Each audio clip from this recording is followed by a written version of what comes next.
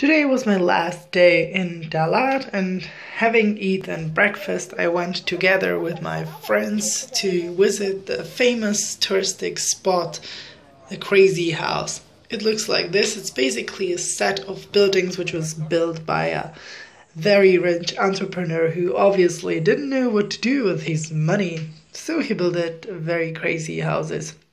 And tourists love it. There are quite many people, and you can enjoy the stunning views over the city of Dalat. One of them is this one. Here you can see that the city is quite spread out and it looks flat, but it's quite high in the mountains. And that's also the reason why the city is a bit chillier than the rest of uh, southern part of Vietnam. I also enjoyed myself, but then I had to hurry back to the hostel to pack my stuff and to uh, catch my bus to the city of Hoi An.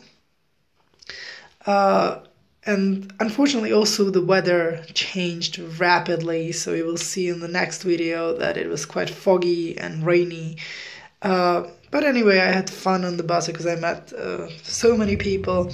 And interestingly enough most of the solo travelers i met during this bus ride were women who were traveling alone. So this is a picture which should encourage my female friends to do trips alone as well and don't be scared about it. It's fun.